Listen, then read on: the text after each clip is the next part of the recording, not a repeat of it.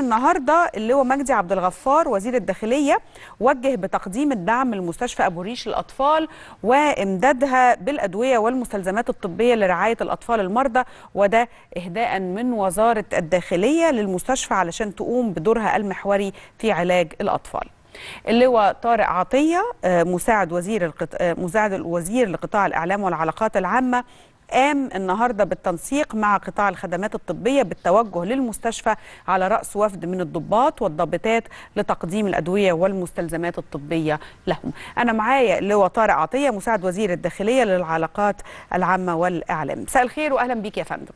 أهلا بيك يا فندم أهلا وسهلا. أهلا وسهلا وقول لي يعني حرص يعني أول حاجة حرص الوزارة على إن هي تشجع أو تطالب يعني بدعم مستشفى أبو الريش للاطفال ده نابع من إيه يا فندم وتفاصيل المبادرة إيه؟ الحقيقة يا فندم الدور اللي بتقوم بيه وزارة الداخلية في تكريس الأمن بربوع الوطن لا يعني فقط الإجراءات الأمنية بل يمتد أيضا للدور المجتمعي اللي لا يقل أهمية اطلاقا عن الإجراءات اللي بتاخدها الوزارة في حماية الأمن الوطني.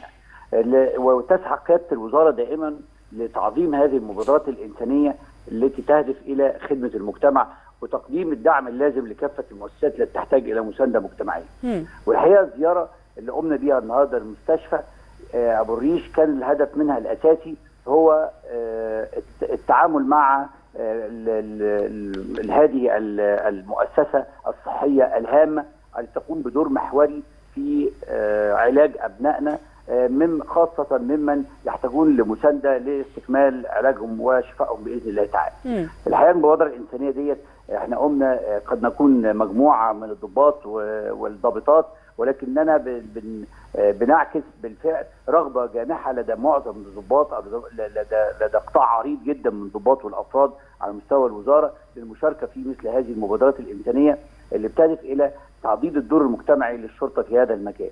وإحنا النهارده آه تمكنا بفضل الله من إحنا آه يعني نبعث البسمة والأمل في نفوس الأطفال وأطفالنا في مستشفى أبو الريش من خلال المبادرة اللي وجه بالسيد وزير الداخلية آه كل من قطاع الإعلام والعلاقات وقطاع الخدمات الطبية إنهم يطلعوا بيها ووجه سيادته بتوفير الدعم من خلال تقديم أدوية ومستلزمات طبية تحتاجها المستشفى. فضلا عن يعني إشاعة مناخ من البهجة في أوساط الأطفال وتقديم لهم بعض الهدايا واللعب وبمناسبة المولد النبوي الشريف قدمنا لهم بعض حلوى المولد في إطار التعاطف والتآزر معهم وتزكية عندهم مناخ البهجة. تمام.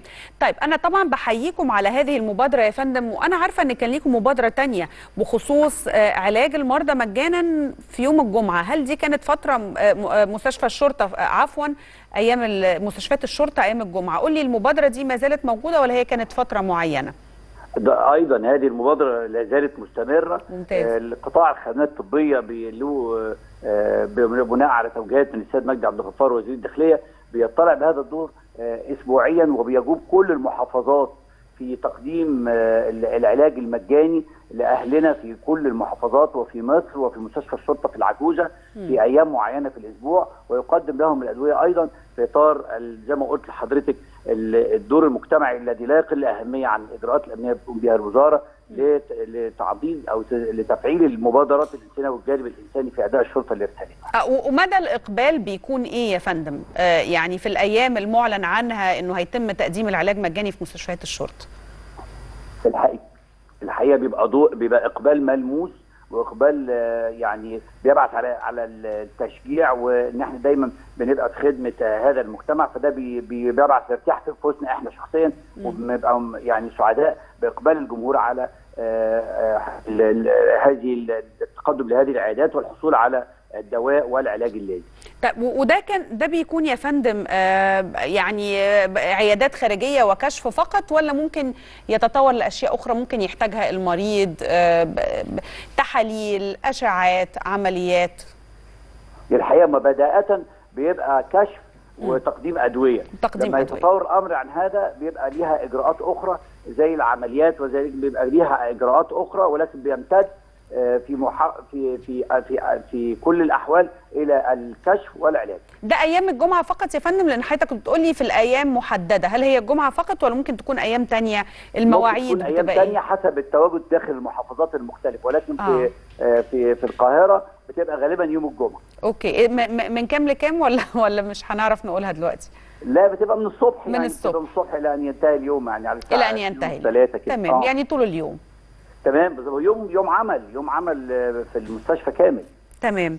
أنا بشكرك شكرا جزيلا يا سيادة اللواء وربنا يوفقكم يا رب. شكرا لحضرتك يا فندم.